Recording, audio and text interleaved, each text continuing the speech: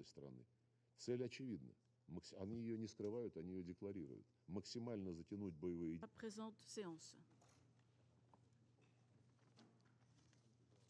And today, I have listened to further installments of Russia's catalogues of distortions, dishonesty, and disinformation.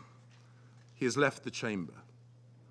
I'm not surprised. I don't think Mr. Lavrov wants to hear the collective condemnation of this council.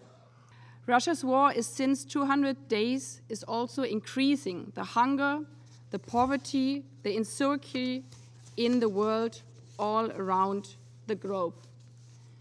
And I think this is a clear sign that the Russian foreign minister only came in for his own speech and then spoke for quite some while, but didn't even mention the hunger, the poverty, the results all around the world.